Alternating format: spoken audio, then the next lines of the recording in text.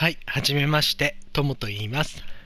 と、YouTube に、えーこのゲームの実況動画を上げるのは初めてなんですけれども、と初めてのゲームでこのヒドゥンアジェンダっていうのを上げたいと思います。こちらは、とプレステ4とかあー3もだったかな？のソフトで Until Dawn っていうソフトがあったかと思うんですけども前からちょっと気になってて、えー、と実際自分ではやってないんですけれどもと他の YouTuber さんの方々が、えー、と上げているのを見てすごく面白そうで。で今回そのスタッフの人たちがこれを作ったということで、えー、とこれは面白いんじゃないかということで初めてのゲーム実況のゲームとして選んでみました。でこれはあのコントローラーで操作するんじゃなくて、えー、とスマホに無料のアプリをダウンロードして、えー、とスマホで操作する。ちょっとね今までにないような感じなんですけれども今あの画面の下の方で「友が操作中」っていうあの丸いあれがあると思うんですけどもこれを今スマホの画面を触ると青くこういうふうに動かすことができます。これで、えー、と選択肢をこう選んでいく。で1人だったらもちろん1つなんですけれども、えー、と6人まで同時にプレイすることができて、えー、と6人それぞれの意見をこう反映させて多数決でストーリーが進む。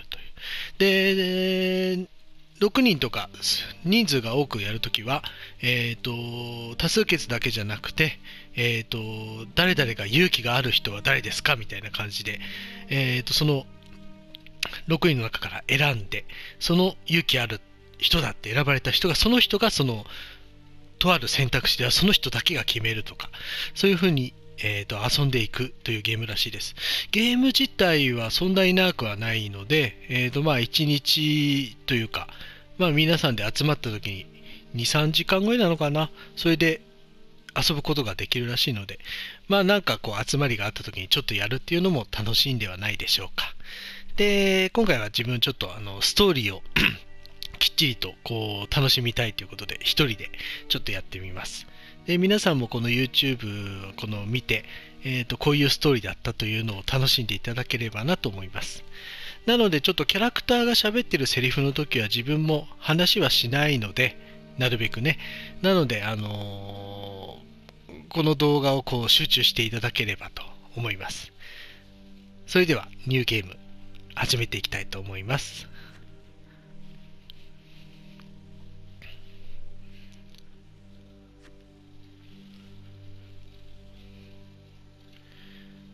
なんかネズミ取り機がアップになってますけどね。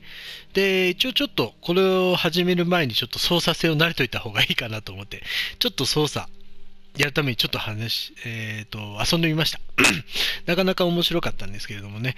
まあ、なのでこの今、新しくゲームを始めると、セーブ中のゲームは上書きされますということになってますね。で、まあ今回は別にいいので、はいと選んで進みたいと思います。ストーリーモードではじっくりと遊べます事件解決を目指して好きなようにストーリーを進めましょうはい、では始める。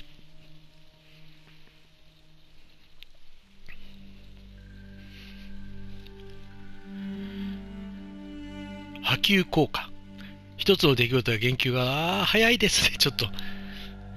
一つ一つの選択が運命を変えていく。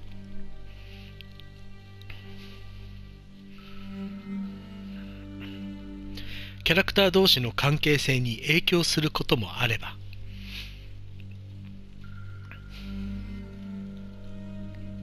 運命を一変させることもある。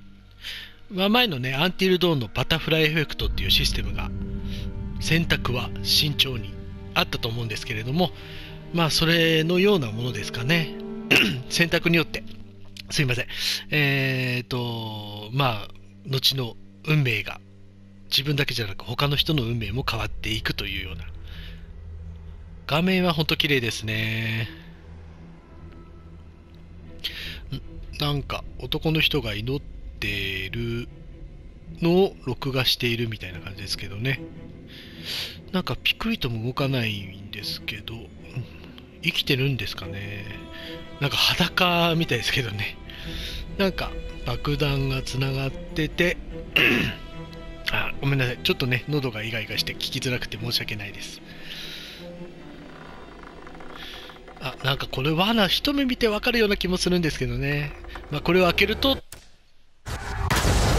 ドカーンとこういう風になるということですねなんかどうやらトラッパーという殺人犯がいて、えー、とこういう死体とかに罠を仕掛けてにしてこう第一発見者、まあ、とかあと警察が入ってきた時に罠を発動させて一緒に殺してしまうという。罠を仕掛けるということでやっぱトラッパーと言われてるみたいですね。6週間後。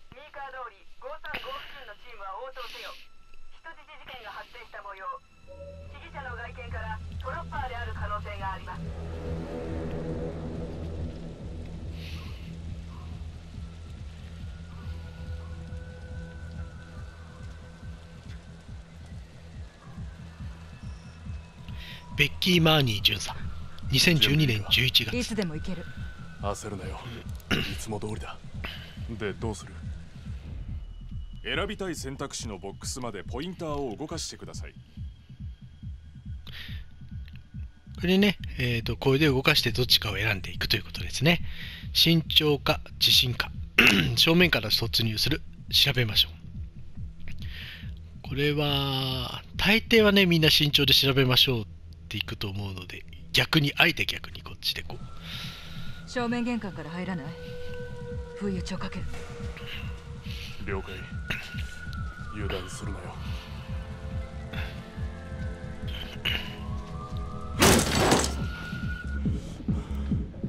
警察だ！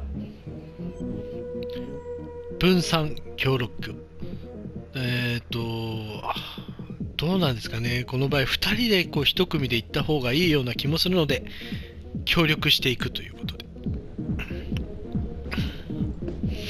あなんか糸見えます時間内にねポインターを動かしてターゲットに合わせてください。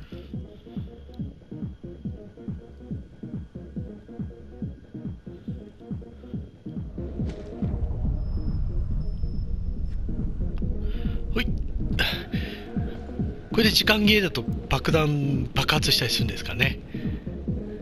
そこでゲームオーバーなのかな。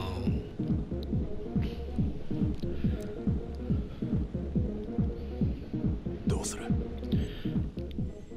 慎重に一緒に行きましょう。2階を調べて、まあ、ここはやっぱりここまで2人で来たんでね一緒に行きましょうということで。なんだか嫌な予感がする女性の悲鳴が聞こえましたね。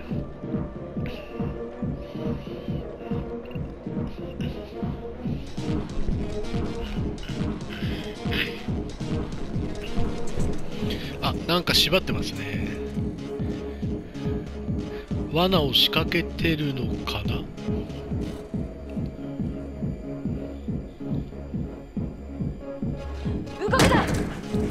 さっさと両手を上げろンターをターゲットに合わせれば銃を撃てます。ですがよく考えて撃つ必要はないかもしれません。ここで撃つ必要ないかもしれませんって言ってるとここでは撃たない方がいいような気がするですよね。銃は見えてるけど。なのでやっぱりここは撃たない方がいいのかなって気がするので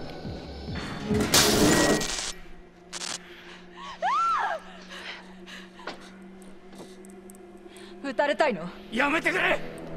何？私が外すと思ってるの？ねこいつに手は出さない！えお願い家に返して！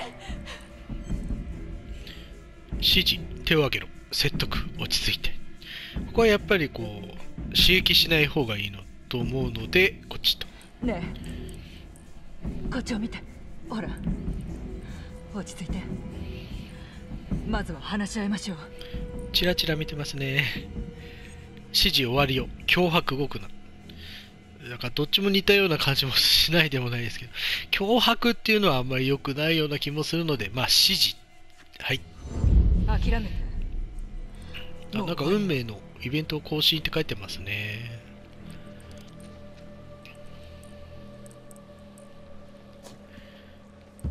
あ諦めたかな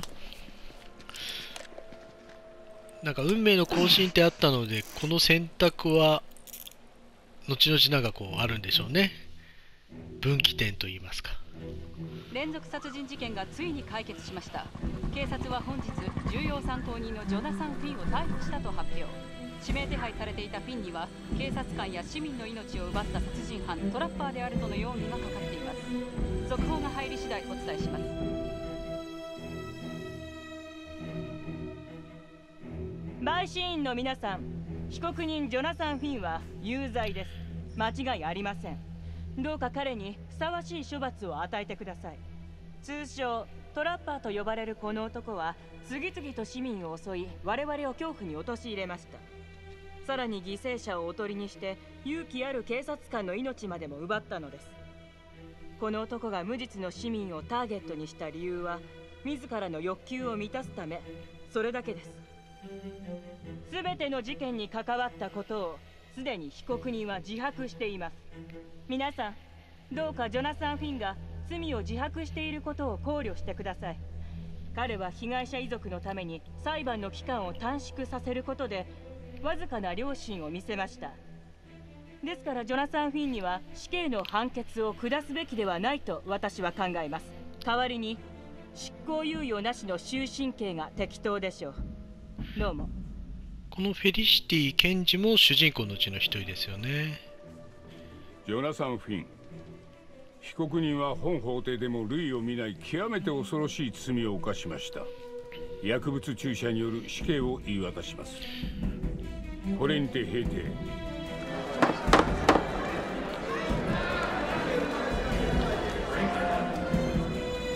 なんか似合って笑ってますね。ヒドゥンエジェンダ死刑執行まで48時間。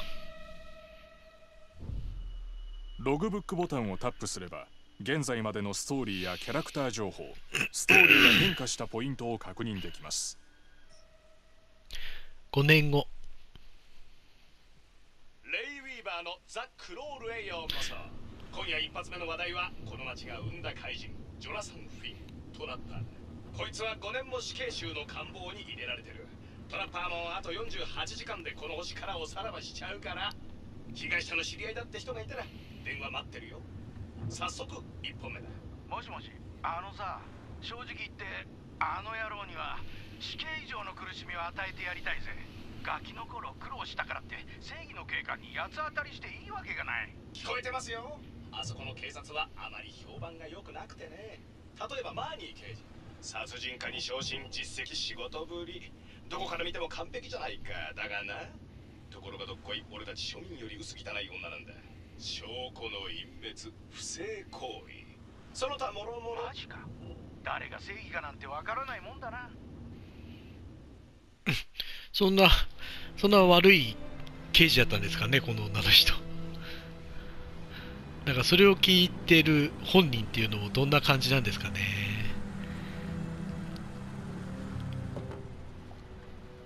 まあまた根の葉もないことを言ってみたいな感じなんでしょうか。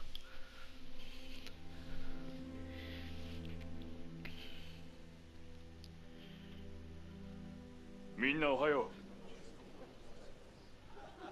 う。身元不明の遺体がまた2つ。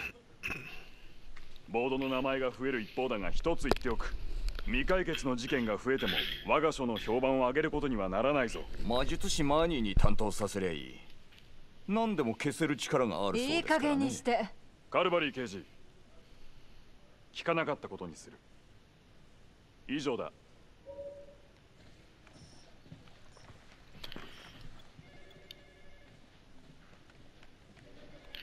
トラッパーを捕まえたからベッキー。昇進ですかね。気にするなよ。あいつのこと？あいつは目障りなやつを叩いてるんだよ。手柄をあげたら憎まれるってわけ大丈夫か？この人あれ一緒に捕まえた時に一緒にいた人ですよね。トムって書いてあったんで。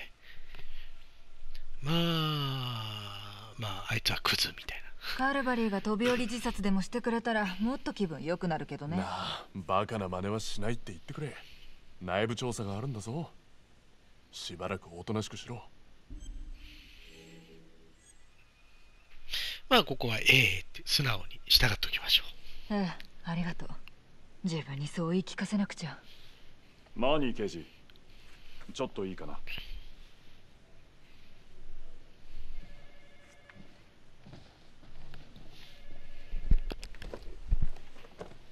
なあマニ。ー私は内部調査の仕事に口を出せる立場じゃないんだがもし大事な部下に何かあったら。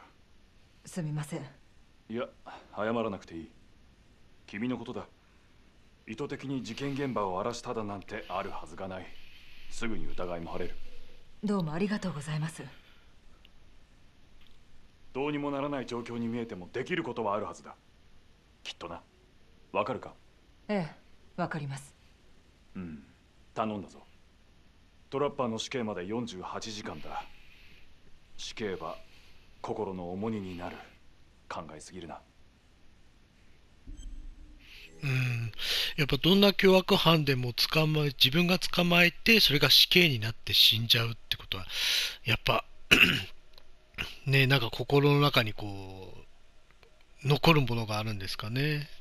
ちょっとね、自分としてはね、まあ、刑事でも警官でもないので、どんな気持ちなのかちょっとわからないところはあるんですけれども、ね、困惑、夜も眠れない、冷淡、早く死刑になればいい。まあやっぱり自分も結構考えちゃう方なので、どっちかというとこう困惑、夜も眠れないっていう感じなのかな。フィンの死刑執行はむしろ遅すぎます。誰もがそう思ってるよ。私もね。私と同じくらい心から安眠を望んでる人はいないでしょうけどね。うん？あいつが生きてると思うと夜中に目が覚めてはい、なんか自分の思ったのとちょっと違う感じがしますか。まあとりあえず、ちょうどよかった。今から面会するとこよ。一緒に行けなくてごめんなさい。まさか弁護士抜きでフィンと面会するなんて。ごめんね。すぐに動いてくれて助かるわ。2日後には死刑執行でしょ？ええそうね。アドバイスはある？もしかしたら一筋縄ではいかないかも。う慎重にね。そう他には？アダム・ジョーンズのことを喋らせてほしいの。アダムって？本人から聞いてうまくやれそう？うーん、うまくやれそう。まあ、楽観で私に任せてっていうのもちょっと、あれだから、まあ聞いてあげてもいい感じかな。もし本当に重要な話だったら聞いてあげるわ。後でね。ありがとう。じゃこんにちは。どうも。弁護士から聞いた大事な話があるって。どうせ信じやしないさ。あんただって。昔は神のせいだと思ってた。ラスパルマスの孤児院のこと？信じてたのに。職員のやつら。でももう恨んじゃいない。神から許すことを学んだから。俺は嘘つきのまま死にたくないんだ。じゃあ誰がやったの？ケンジさん俺は誰も殺しちゃいない焦燥さっさと話して。興味、アダム・ジョーンズがある。まあ興味かな。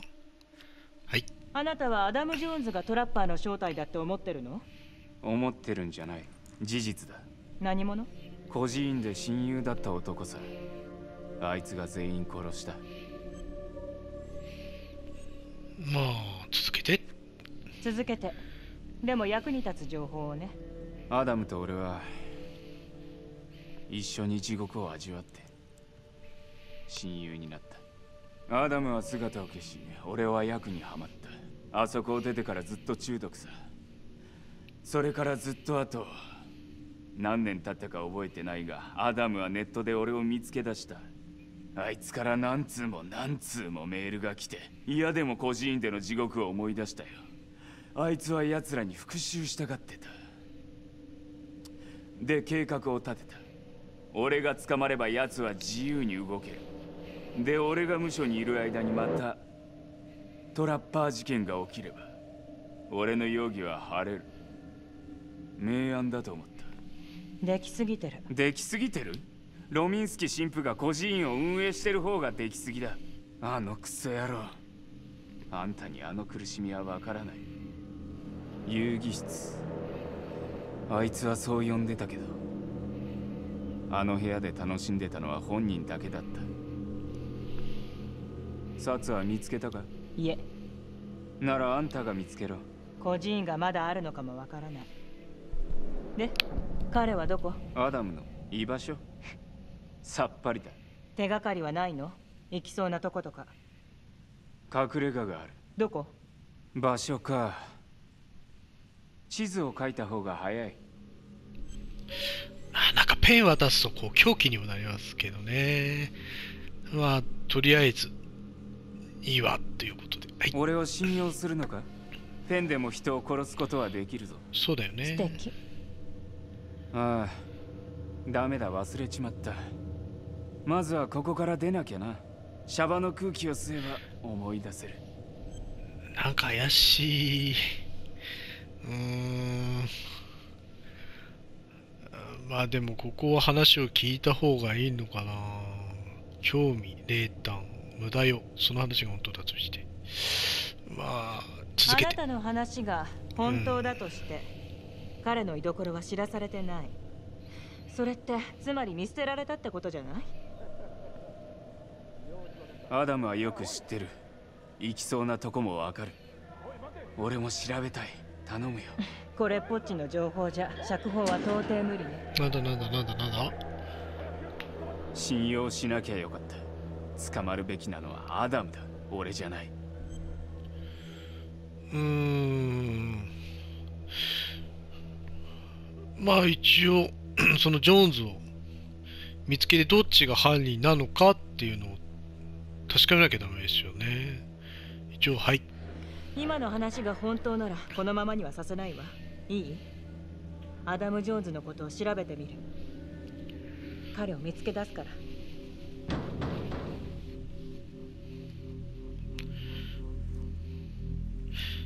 騒いでたのは何なんですかね？後ろの方でなんか警官騒いでたんですけど。ど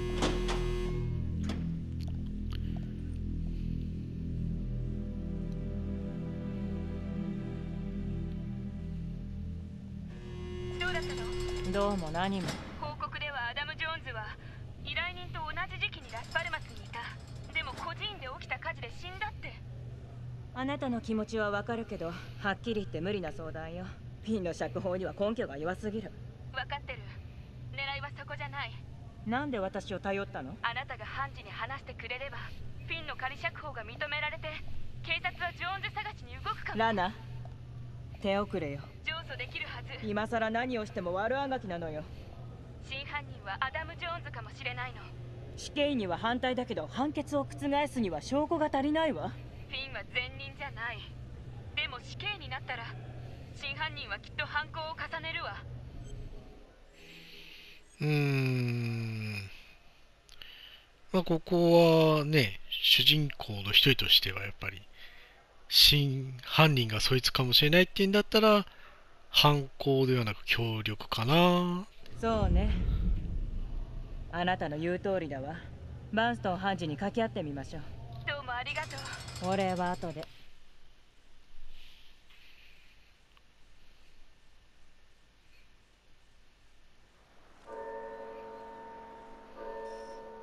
すぐにお会いできて助かりました。アダム・ジョーンズの件はペティ弁護士からすでに聞いているよ。ええ先ほどフィンと話しました。さて私が考えるに彼は君の様子に焦り出してデタラメを言ってるようだな。つまり？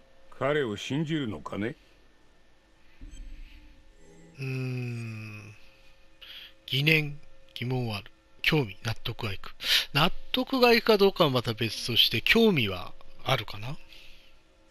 確かにできすぎたタイミングではありますが本当のことだと思います。少なくとも全てが嘘ではないはずです。ジョーンズと会った者は？記録ではすでに死亡しています。奇妙な話だと思わないかね、はあ、たとえ実在したとしても本当にフィンは彼を見つけられるのか？それはわかんないから。で楽観不満不満？やらなきゃわからない。役に立つだろう。うーんどっちかな。楽観楽観っていうかまあでも役に立つっていう風なのかな。やらなきゃわかんないけどこれちょっとどっちか難しいですけどまあこっちで。何を信じるべきかは分かりません。ですが可能性があるなら解明するべきです、ね、どうやら真実やらのために殺人鬼を世に放すつもりかな？ただ警察がジョーンズを発見するまでの間です。驚かされるよグレイブス検事。君が私の立場ならどうする？自信不安。決める立場でない。まあ私の立場ならって言ってるのでまあこっちかな。役に立つはずです一日だけでも監視付きの仮釈放を認めてくだされば無実の人間を死刑にせずに済むかもしれません。そうか。よし分かった。フィンに警察の監視がついた仮釈放を認めよう。だが3時間で終わらせてくれ。どうも。もしもしラダ驚きのニュースよ。許可が下りたの？さすがの私も驚いた。すごい。やったわねフリッシーやめてよこれから殺人課に行って知らせてくるわね。よろしく。ねえリシティ。ありがとう。気が早いわね。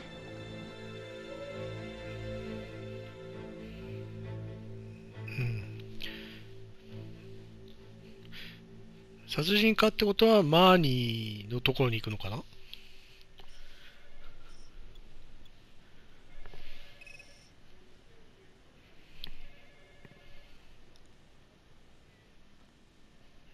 そうだね。馬鹿げてる。フィンの事件はとっくに片付いてるはずだぞ。現行犯で奴を逮捕しただろう。判事をやり込めるほどの話ぶりだったんだろうな。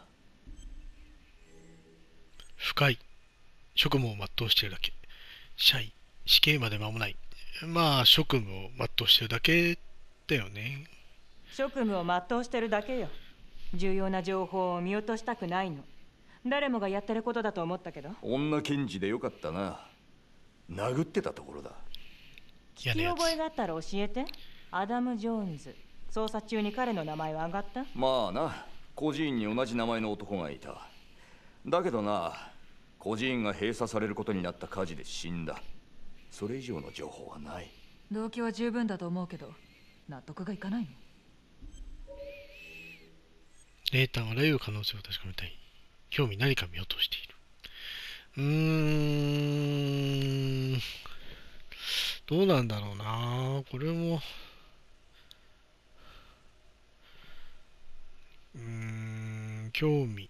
興味レータンまあなまあ、実際犯人じゃないとしては何か見落としてたのかもしれない。のかな。じゃあこっちしとくか。何かを見落としてる気がするの。判事も同意した。ジョーンズ捜索のために監視付きの仮釈放を認めてくれたわ。フィンが言うには孤児院には神父の隠し部屋があったそうよ。遊戯室って呼ばれてた部屋で彼は直々に特別実習を受けたって言ってた。聞いた覚えはある？報告書にも載っていないし覚えてもいないな。一つ疑問があるのヒラリーさんそれでトラッパー事件の犠牲者の遺体を検視した時他の被疑者につながる可能性があるものはあった？確かあれは5年も前のことですがなかったはず。つまり犯人はフィン以外にありえないってことね？僕が覚えてるのはその証拠の分析の一部を提出したことです。フィンが自白したから事件は解決したのかと。分析すべき証拠がもっとあったということ？筆跡鑑定とかもう一度物証を見られる？なあいい加減にしてくれないか。あんたは一体何が楽しくてあいつを釈放させたいって言うんだよ。動機もある。個人で地獄を味わい警察を嫌ってた。現場で体毛だって見つかったんだぞ。RV パークでしょ？被害者はソーシャルワーカー。悪いけどマーニー刑事あの夜のことを教えてくれる？俺が教えてやる。シンプルだ。チャンスを棒に振った。あの時フィンを取り損ねたからななんかこの刑事さん嫌なやつって感じだ。な。なんか、そうると深いって感じだ。いちいち横槍を入れないでくれる？カルバリー刑事。記録によるとマーニー刑事は大変な状況下で勇気ある行動に出たみたいね。もしよかったらあなたの口から聞かせてもらえる？現場にいたのよね？ええもちろん。ホープはソーシャルワーカーだった。例の孤児院のね。フィンの犠牲者よあの夜高速の近くにあるホッグヘブン公園から通報を受けたの。不法侵入があったって。私は近くにいたから一人で行った。単純な事件のはずだったけど当時はみんなビクビクしてた。トラッパー事件が起きてたから。誰もが犠牲者になり得た。5年前フィンを逮捕する3週間前。そういう事件起きてる時に一人で行かせるものなのかな。どうなんでしょうね。まあ2人になるのを待ってたらなんか事件起こっちゃうかもしれないしな。どうなんだろう。トレーラーに入る辺りを調べる。うーん。まあ辺りを調べる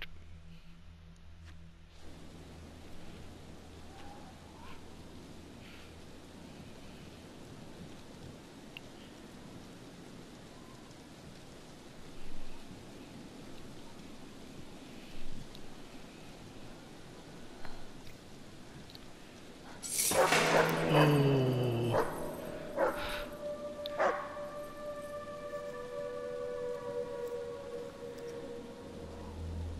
ヘッドホンで聞いてるんでこうあんまり音高い音がなるとびっくりしますね。こちら609現場に到着。怪しい人物が見当たりません。トレーラーに突入します。609了解。最新の注意を。すごい心臓ドクドクいってんだろうなこの立場になったら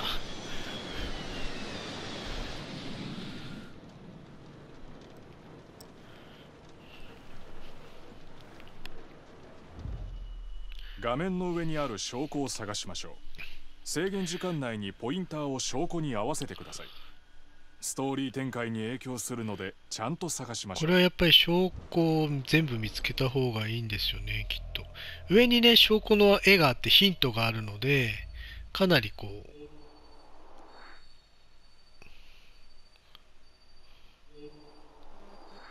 こう分かりやすい。あとバックバックあバック。はい。で3つですね。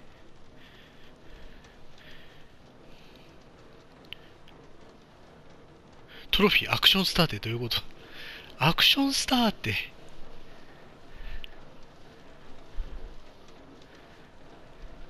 まあまだね上に絵が出るんでだいぶ画面見てやれば探せばいいっていうんで探しやすいのは探しやすいのかな。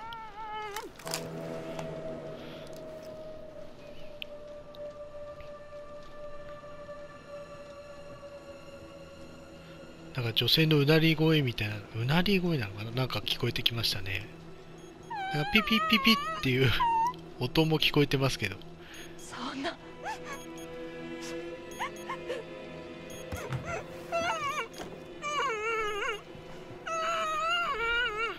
なんか縛られててお腹になんかありますね。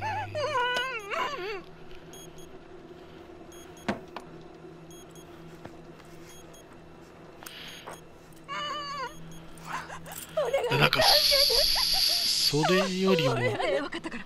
落ち着いて。誰がやったの？私バーに行って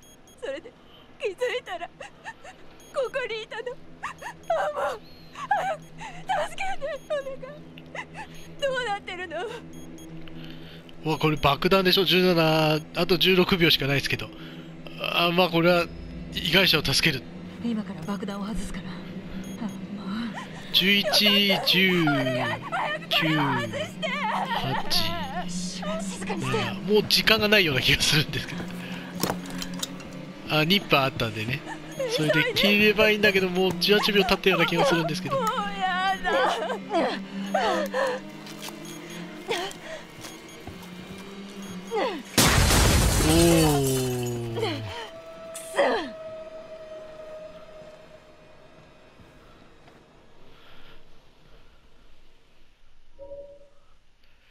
失敗したらや失敗したり見捨てたりするとなんかやっぱあんのかな。他に犠牲者がいないのが救いね。ところが続きがあるんだ。数週間後にあの子もひき逃げで亡くなってる。あんな事件二度と思い出したくない。フィンは君を見て被害者を放って逃げた。ええだから荷物を忘れたのよ。まあそうね、一人で行くなんて勇気がある。興味どうして逃げられたやっぱりトラッパーの事件あったのに一人で行くっていうのは。一人で行くなんて勇気があるのね。ただ職務をこなしただけよ。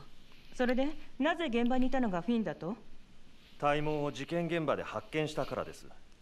犯罪者データベースで DNA を照合したらフィンのものと一致しました。前歴があったの？留置所に出たり入ったりしてたから前歴も何も常習犯だった不法占拠者がいるって連絡があった時にちょうど私たちは近くにいたの。運に愛されてるんだなさすがだ。おかげで逮捕できた。バカ。おっとママの雷が落ちるぞ。怖いね。瀬戸を協力するぐらいしてあなたはあなたは迷惑。あーそうねあなたは迷惑。なんかこの人あんまり好きじゃないかもしれない。悪いけどあなたの態度は迷惑でしかない。悪かったな。だがこいつは俺の山で。起訴できたのも俺のおかげだ。あんたは何様のつもりで俺をバカにしてるんだ。検事のつもりよ。それだけ？トラッパー事件は嫌な思い出なんだ。古傷を広げるのはもう十分だろう。巡査部長。質問は以上かな。他に手伝えることは？まあまだ聞くこともここで終わらせるのもあれだから聞けるのは聞いといた方がいいよね。要求。アダム・ジョーンズの鑑定記録はまとめてあったりする？死亡時のものは何も。孤児院に入った時の DNA サンプルはある？ええ。そのはずです。その記録を探してトラッパー事件の現場で見つかった証拠と照らし合わせることはできる？ふざけんなよ。俺たち全員の時間をこれ以上無駄にする気か？こうしようぜこのままあいつを死なせるんだよ。カルバリーやめろ。検視官に調べてもらおう。何かあれば知らせる。そのセリフはダメだよね。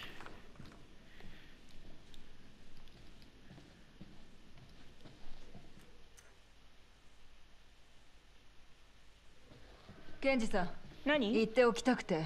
カルバリーはクズ。そう。気にしないで。協力ありがとううーん。レータンさよなら。有効。今夜時間ある？ここでさよならっていうのもちょっと寂しいかな。はい。ねえ今夜時間ある？えー、っと事件のファイルが部屋に山のようにあるけど一人じゃ目を通しきれなくて。そういうことならもちろん手伝う。助かるわ。後でね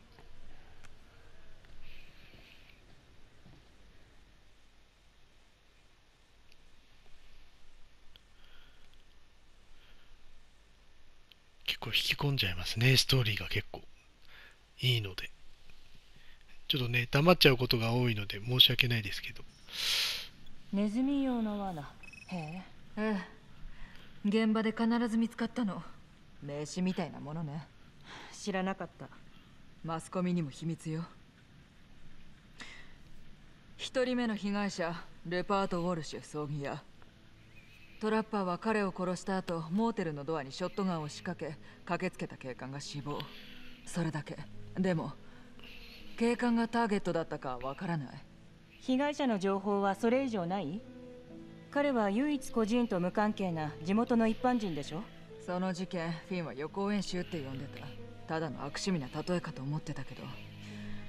もし本当の犯人が彼じゃなかったらもう調べるほどに謎が深まっていく。ねえ少し休憩する？不満疲れてるように見える？謝罪ずっと眠れてないの？うーんまあいろいろ忙しいでしょうからね。まあ素直にこう。ごめんなさい私。もうとっくに済んだ話かと思ってた。なのにファイルを読み漁ってフィンの死刑執行がもうすぐだと思うとこのことばっか考えて最近ずっと眠れてない。もうすぐ肩がつくから心配しないで。ええ。そうね。二人目の被害者こいつは悪人よ。顔がわからなくなるくらい子供を殴った男ね。ひでえ。孤児院の職員よ。孤児院で働く数年前麻薬取締官がずっと調査してたようなのでも逮捕には至らなかった。うまくすり抜けるの？トラッパーは真っ暗な部屋に死体を置いてソケットに C4 を仕掛けた。爆弾か。警官が駆けつけてスイッチを入れてドカン。最初の犯行と比べてエスカレートしてる。ずっと手が込んでるけど満たされなかったのね。3人目は悪の親玉ロミンスキ神父個人の運営者でかつ児童虐待の主犯格。フィンによればね。ええ。フィンが言うにはね。トラッパーは神父を気絶させて動いたら起爆するように爆弾を体内に仕込んだ。一部始終を撮ったビデオを見たわ。あこれが最初のあれなんですね。神父をひざまずかせ彼に自らの罪を告白させたの。満足するとテラー警部に電話をかけた。他の二人の警官は知り合い？同じ文書だったからねつまり死んだ3人の警官とあなたは未遂で終わったけどみんな三文書の人なの？同じ管轄で起きたから。他の2人とは親しかったの？その最初に駆けつけた警官たちのこと。苦手だなって思うくらいにはあそこはすぐにやめたの。もし一般人の被害者はただのカモフラージュでしかなくて真のターゲットが三文書だとしたら。おおシアンなるほど。弁解。あの警官たちは死んで当然。うーんなるほどって思ったけどな。どうなんだろう。まあでも嫌なや嫌ななんか警官だなって言ってたから。うーん。あえて思ったのと逆。うーんでもな。弁解シアン。うーん。あ当然ハテナか。当然つながって三文書だった。当然何が言いたいの？あの警官たちは死んで当然？彼らが悪人だとしてもベッキーあなたは違うでしょ。知ってることを教えて。まずはあなたから。実は興味本位で聞いてるでしょ。そうかもね。分かった。どうぞ。カルバリーとは何が？彼の話が出るとはねあれだけ対立してたら無視できないわよ。うん。結構証拠を動かしたって報告した。ネイタン・カルバリーは面白くないのよ。まああえねあまりこう激しく怒ってもしょうがないので。カルバリーは面白くないのよ。どうして？一つ目の理由は私がトラッパーを逮捕したから。ムカついたのね。そろそろ立ち直ってもいい頃じゃない？だといいんだけどまだ突っかかってくるの？なぜ？優秀だと批判の対象になるものなの？それだけで邪魔される？あなたにはわからない。私は父を頼ることもできないしね。みんなそれぞれ苦労がある。でしょ？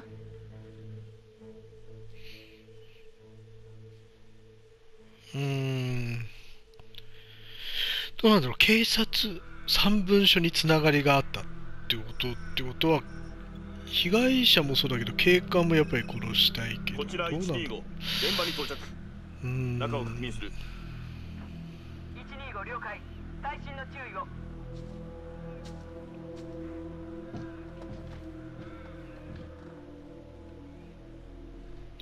やっぱり一人で行くのね。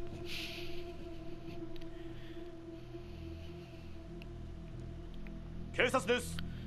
誰かいますか？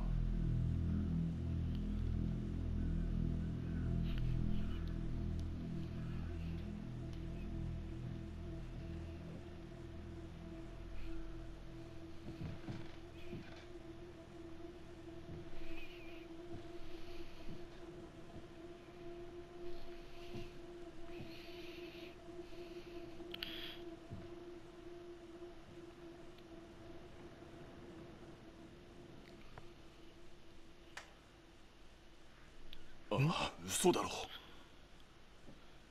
あの聞こえますか？死んでる？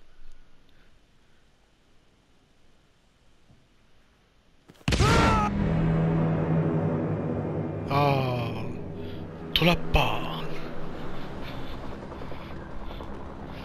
ー。あこの時フィンは仮釈放されてんのかな？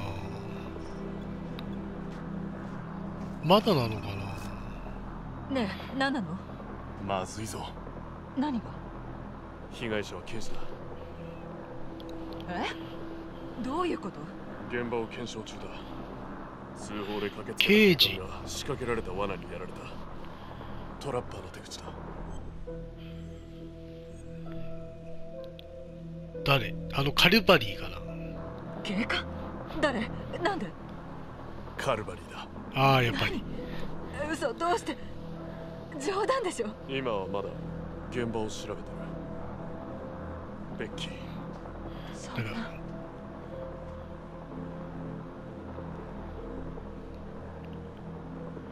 ら疑われるんじゃんこのあの人。喧嘩してたし。でもまあケンジさんと一緒にいたからな失礼。仕事の邪魔になるのでどう言ってもらえますか？どうも。状況から考えるとカルバリーは娼婦を買ったようだ。嘘。ここに連れ込んでその女の情報は？現在調査中だが20代で茶髪だ。なるほど。カルバリーは前段発砲したが全て外してる。結婚はあいつのとあとはモンテシノスのだけ。警官ねカルバリーの死体には罠が。くそ。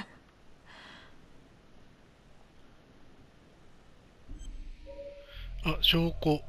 え絵と罠となんだあれ？穴か。穴。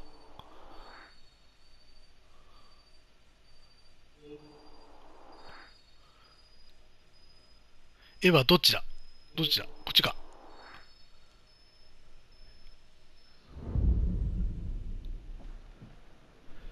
前段外したってどれだけ下手なの？前段撃った。もし背後から喉を切られたならなぜこっちを撃ったの？前から切られたならうん普通そうだよね。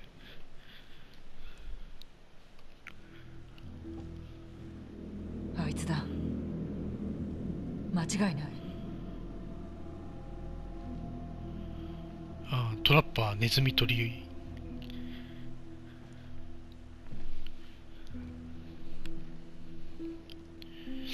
りえ。あなんか落ちた。どうだ？びっくり。何もない。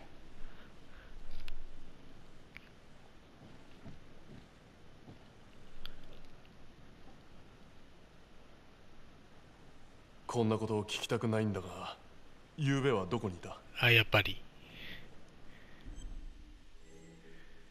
あーここで怒っちゃうとねなんか怪しくなっちゃうんで結構平成だよね。フェリシティみたいなは昨日の夜はグレイブス検事と一緒にいたの。ファイルを読んでた。朝まで？ええ。なんで？くそ何？慎重に動かないとって言ってるだろ。なぜ？どう動くかは慎重に考えろ。お前たちがいがみ合ってたのはみんな知ってる。トム。気をつけろよ私が人を殺すなんて本気で思ってるわけ？そうは言ってない。じゃあなんでそんなこと聞いたの？切れてる場合か。状況分かってるだろ頭を使え。うーんこれもやっぱ怒っちゃダメだよね。まあなんでそう疑われる？ケンジと一緒にいたんならいいような気も大丈夫なような気もするんだけど。ありえない。だといいんだカルバリーは嫌いだったけどこんなことするわけない。分かってるよ何も分かってないくせに。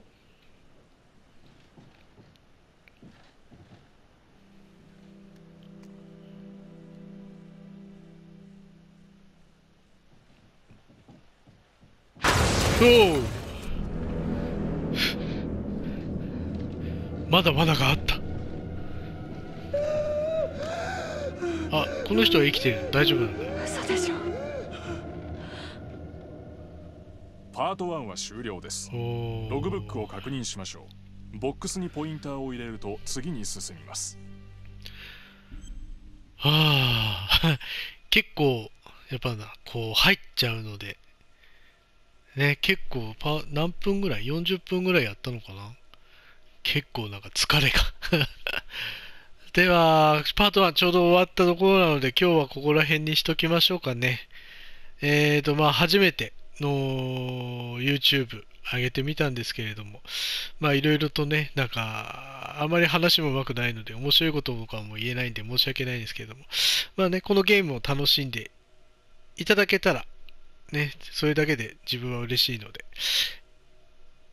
それではまあ次事項パート2から、えっ、と、取り、今度また時間見つけて撮りたいと思いますので、載せたらぜひ見ていただけたらなと思います。では、今日はこの辺でありがとうございました。